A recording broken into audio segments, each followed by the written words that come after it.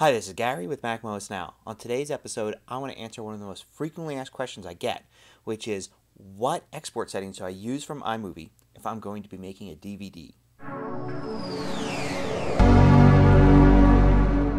So if you're making home videos and using iMovie or anything, Final Cut Pro for instance, uh, you may want to make some DVDs from them using DVD software like the old iDVD or something like Toast.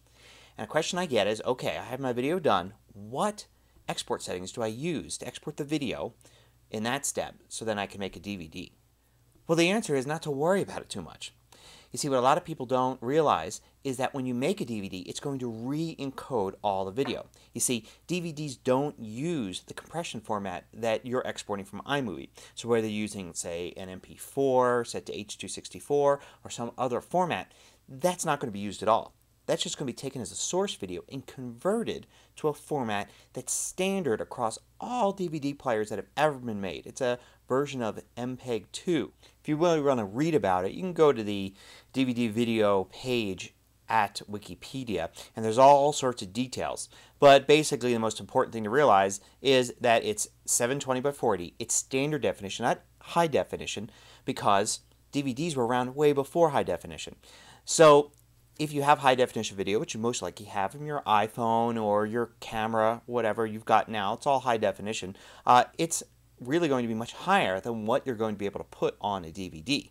Go back and take a look at episode 440 of MacMost Now, where I explain how DVDs are not high definition videos, they are standard definition videos.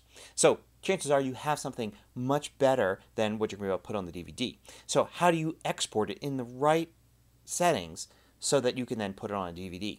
Well, because the video is going to be recompressed no matter what settings you use, don't worry too much about getting the settings perfect. As a matter of fact, you should just simply try to use the best settings that you can. So for instance, if I go to Share and Export Movie in iMovie here, I've got all these different settings here at the bottom. And what I want to do is I just want to use the highest one. So in this case, I can use 1080p. And that's because the video, the, the source video is 1080 here. If, for instance, I was only using 720p video, then it wouldn't give me this option because it wouldn't make sense to actually export at a higher quality than the source video. Uh, so I would then choose the highest quality, which would probably be 720p. So you just want to choose the highest one that you can here, export it to give the DVD converter, whether it's iDVD or Toast or something else, the best possible video to work with. So converting from the highest possible quality video to DVD video, give it uh, the best results. Now, if I'm in a rush and I just want to get something done real quick and it's 1080p, I may do 720p anyway, just because it'll export from iMovie a little faster. It'll convert probably a little faster. It's a smaller file size.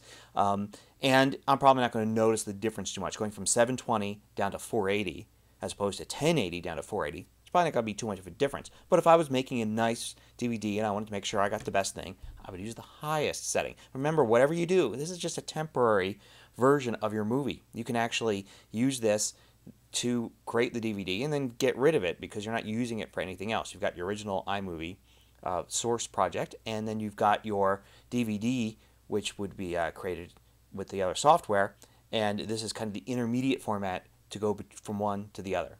Now, some people mention, well, you can create these high definition DVDs, uh, these special formatted things that you can put them in Blu ray players and they will read the DVD disc and show a high definition video. But remember, if you're doing that, it's not going to work on a standard DVD player. So, anybody that's just got a regular DVD player in their living room isn't going to be able to access that disc at all. You're going to need that special like Blu-ray disc player or whatever supports that format that you're using. So if you want something really standard, it's going to be DVD, it's going to be 480p standard definition video, and you're just going to export from iMovie at the highest quality possible to give to your DVD creation software. Hope you found this useful. Till next time, this is Gary with MacMost Now.